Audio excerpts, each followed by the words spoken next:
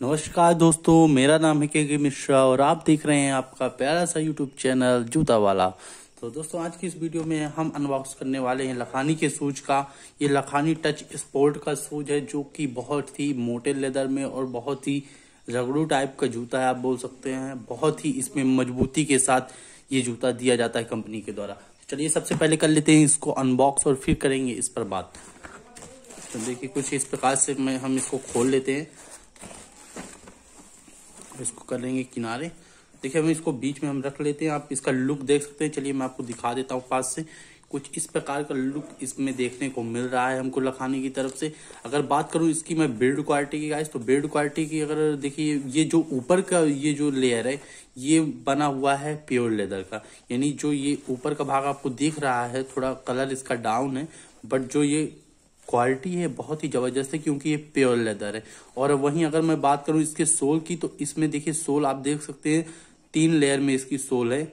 देख सकते हैं आप, इसमें तीन लेयर की सोल लगी हुई है और बहुत ही मज़बूत सोल है।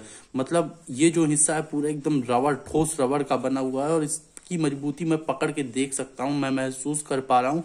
आप इससे किसी की जान तक ले सकते हैं, मार्केट इतना खतरनाक जूता है तो ये तो इसमें तो मैं आपको ये पूरा सजेस्ट करूँगा कि अगर आप सोल के कारण जूते लेना चाहते हैं मज़बूत सोल लेना चाहते हैं तो ये जूता आपके लिए एकदम परफेक्ट है, क्योंकि इतना मज़बूत सोल वुडलैंड के जूते भी नहीं दे पाते।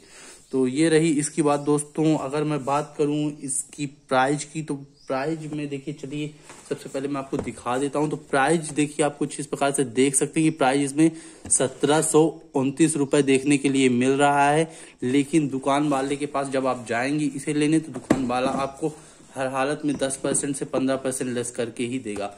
तो ये रही इसकी प्राइजिंग की बात दोस्तों। अब ये जूते आपको लेने चाहिए कि नहीं, अब ये इस पर थोड़ा चर्चा कर लेते हैं।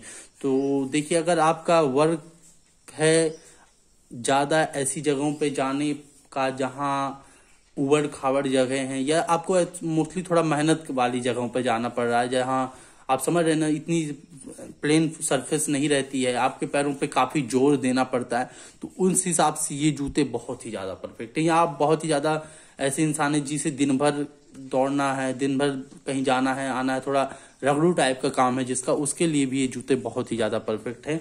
बाकी वेट वेट की बात करूँ तो सोल के कारण थोड़ा नीचे से इनमें वज़न है, बाकी ऊपर ये लाइट वेट है, बाकी सोल के कारण इनमें नीचे थोड़ा वज़न आ गया है।